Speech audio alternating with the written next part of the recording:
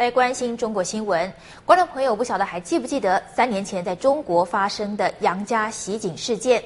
二零零八年杨家袭警案的当事人杨家被中共当局枪杀在上海提篮桥监狱。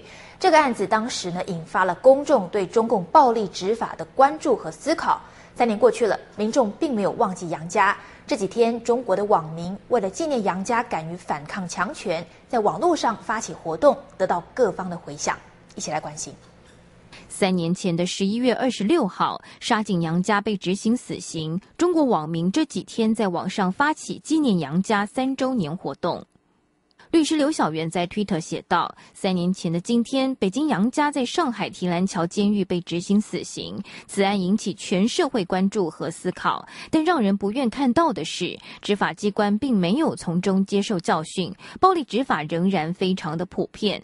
面对强权欺凌，你不给我一个说法，我就给你一个说法。”二零零七年十月，杨家到上海旅游时，被上海闸北分局民警盘查。民警质疑他有偷窃行为，并在执法过程中对他进行了侮辱和殴打。杨家多次向上海警方申诉，没有结果。二零零八年七月一号，杨家带刀到上海公安局闸北分局讨说法，过程中导致六人死亡、五人受伤，杨家被判处死刑。三年来，每到杨家忌日，杨家所在的公墓就被警方控制，包括全程监控杨家母亲王静梅对他的悼念过程。监控是有的，监控对我来说，呃，没有什么意义，因为我我做的一切事情，我都觉得是合法的。你你看与不看，我都是这样做的。很多的人也是想去的，太多的人想去看他了，也是有些人就是嗯，不让去，不让他们去，可能是，所以他们也没去成。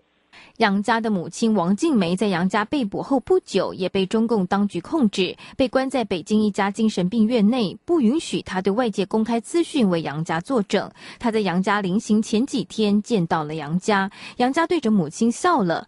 王静梅当时并不知道那是儿子最后的笑容。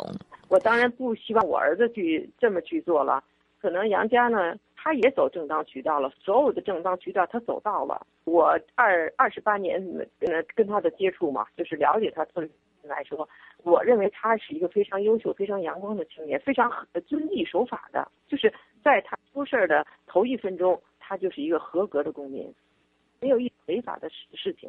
近年来发生在中国大陆的暴力执法事件频传，一些民众遭到公权力的暴力殴打，比如强拆案件与城管执法等。同时，公检法中的不规范，不仅杨家体会到了，很多人也体会到了。有律师认为，中国网民对杨家的纪念，并不是主张以暴制暴，而是通过杨家来表达对专制特权的不满。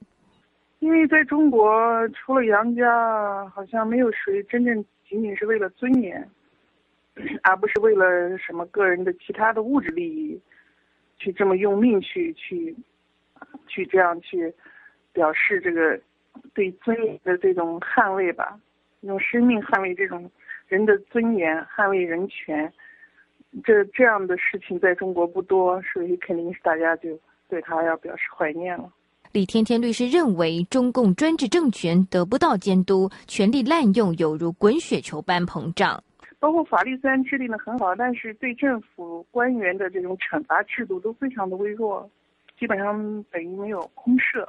很多法条也是空法条，比如对法官错判案子的处罚呀，是吧？警察办错案子的处罚呀，还有就是这种官员的这种失职呀，这都没有什么处罚的规定。就是有，有的时候也是摆样子的。而大陆维权人士胡军呼吁中共的公安远景思考，为什么人民对杨家如此赞扬与怀念？还有很一些人都会到杨家的墓上去，给杨家的坟送上一束送花。嗯，这就是一个中共的体制对对这个老百姓的长期的施暴，就是说希望就是呃看到像杨家这样的人能够有勇气和这个邪恶势力进行抗争吧。把它列为一种中国人的一种勇士或者侠客，呃，这这是中国老百姓的一种情怀。这从这里面可以折射出呃中共的邪恶到了什么程度。新唐人记者戴静周平周天采访报道。